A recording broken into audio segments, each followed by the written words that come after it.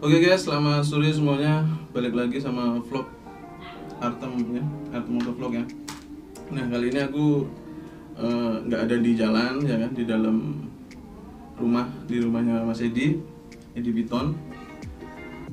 Biar kalian nggak bosen kalau vlognya di jalan-jalan aja ya. Jadi kita sekarang ngobrol santai. Nah ini Mas Edi masih ingat kan yang bawa motor Sugomi? Nah, sekarang motornya ganti ZX 6R jadi kita mau tanya sih kenapa kok dia hmm, dari Sugomi kok ganti ZX 6R Eh, dari 1000 cc ke 600 cc gitu kan ya. Jadi aku pengen tahu juga alasannya kenapa gitu. Nah di sini kita mengulas hal itu guys. Oke? Oke gimana kabarnya Mas Edi hari ini? Baik baik, tapi cuaca panas. agak panas ya?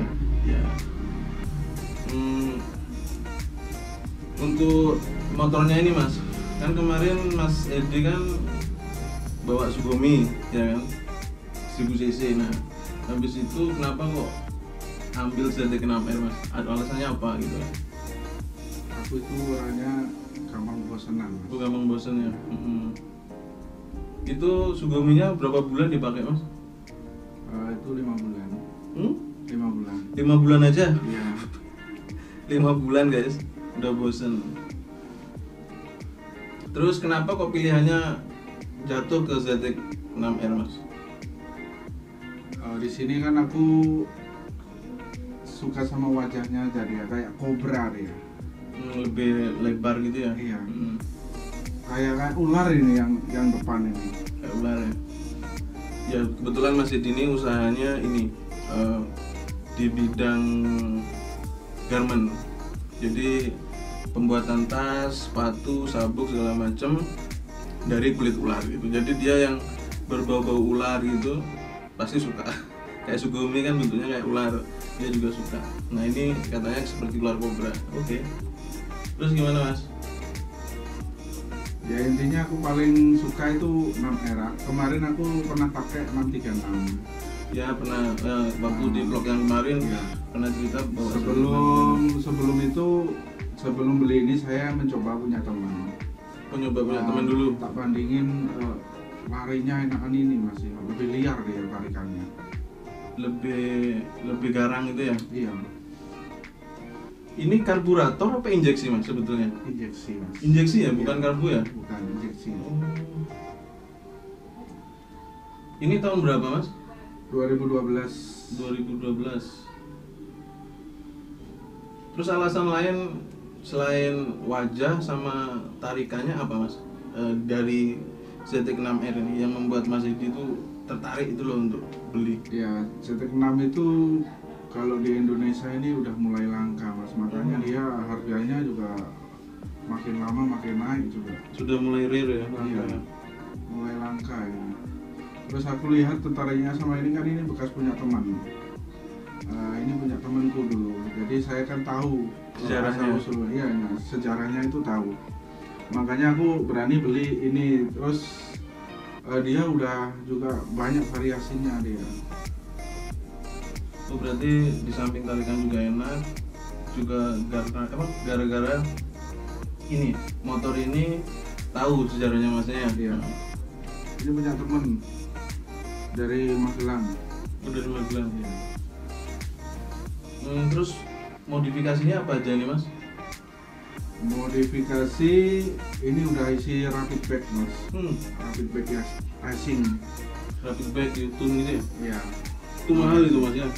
Lumayan. Itu berapa juta itu harganya? Kalau nggak sampai mungkin di 18 jutaan. 18 juta? Uh. dapat ninja karbu satu bro oke Hmm, terus kalau knalpotnya ini ada logonya Edi Piton Bali ini? Ya aku request pesan? itu mas. Pesan sendiri mas? Ya, pesan sendiri. Aku full system ini beli 8 juta. 8 juta nih ya ini headernya yang blue moon. Keren bro ini inletnya kalau nggak salah 60 mili.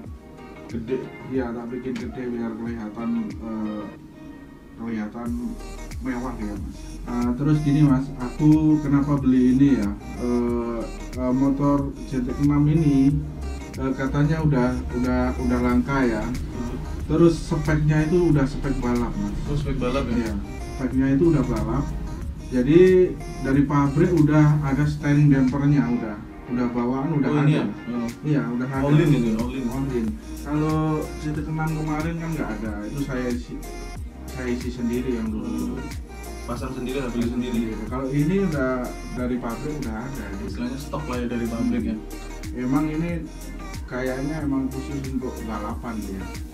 Makanya Memang dia lebih liar dia.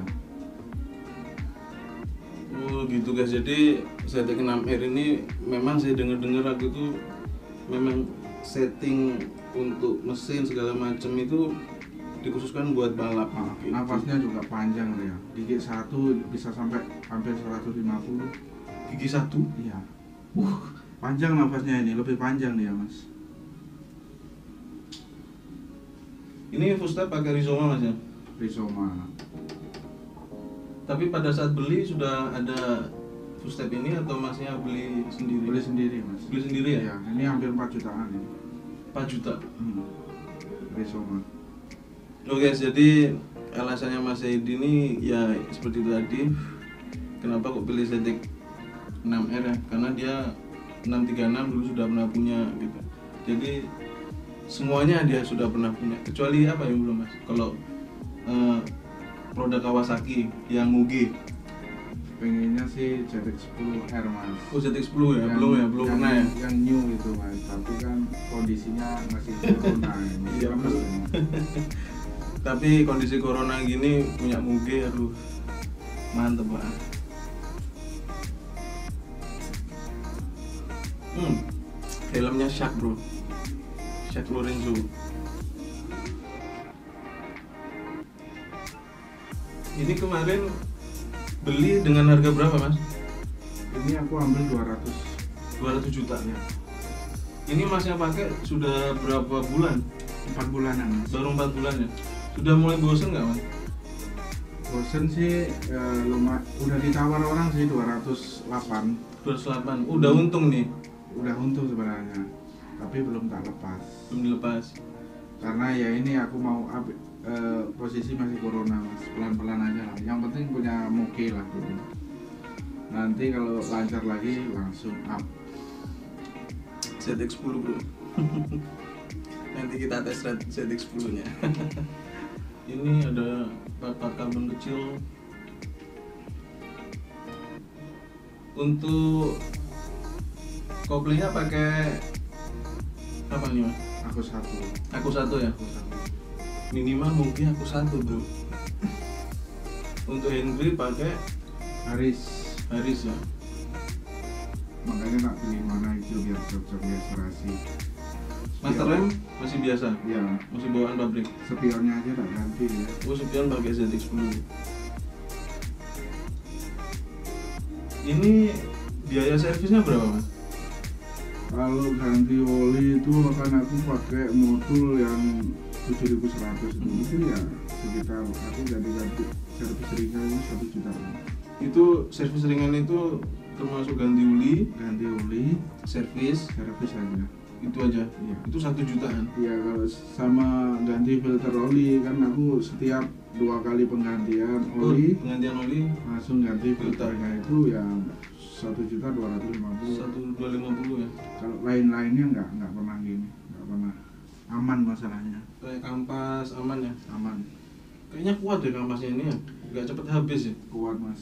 Eh, kampas yang depan ini aku kemarin tanya sih karena ini kan udah mau habis Eh, mungkin dipakai setengah tahun udah habis ini.